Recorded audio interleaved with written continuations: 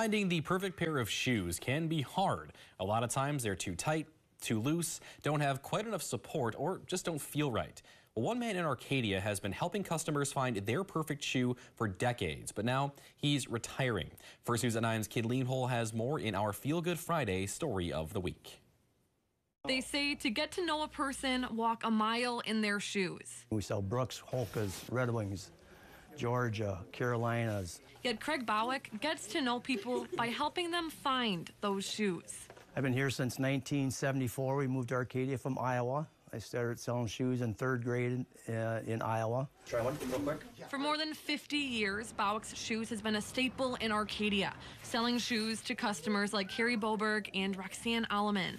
We've always shopped here for years. They've got quality products. They're um, easy to work with. My mom has been bringing us here since we were little kids. Much like the shoes Bawek sells, the store was a good fit for the community. He shows you what you know you ask to see and what will fit you good and what, what is comfortable and will make your feet feel good. We've always prided ourselves in fitting shoes by sitting down and properly measuring the person before we start with the product, asking what their needs are, where their foot pain is, um, and getting them into the correct shoe. Craig's dad bought the shop in 1974, and they became partners in 1982. My most favorite part was probably growing up with my dad in the shoe business. Became a partner with him when I was 22 years old. So it's kind of a blessing to, to work with your dad for, for that many years. Now, Craig is retiring, and the shop is closing.